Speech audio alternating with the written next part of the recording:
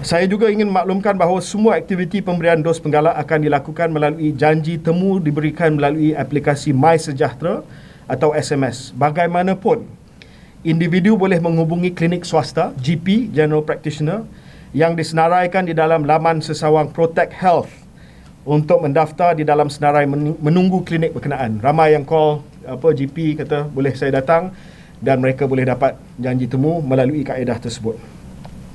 Bagi meningkatkan kapasiti pemberian vaksinasi dos penggalak di Lembah Kelang, empat PPV integrasi dengan kapasiti yang lebih besar telah dikenal pasti akan mula beroperasi pada 15 Januari 2022.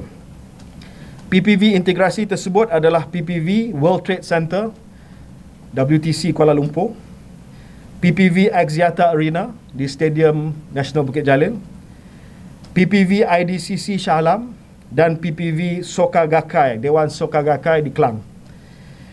Kita akan uh, memberi janji temu kepada mereka yang akan dihantar ke PPV tersebut dan ini akan meningkatkan lagi uh, jumlah pemberian dos penggalak kita pada bulan Januari terutamanya di Lembah Kelang dan kita akan melihat kepada keperluan di bandar-bandar besar yang lain uh, dan sekiranya ada keperluan kita mungkin juga akan buka PPB integrasi di bandar-bandar besar yang lain.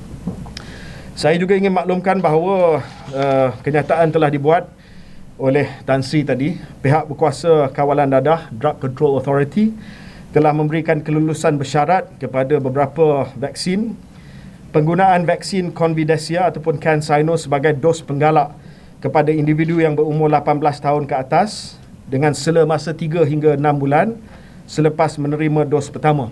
Sino, uh, CanSino ni uh, dos one single dose vaccine.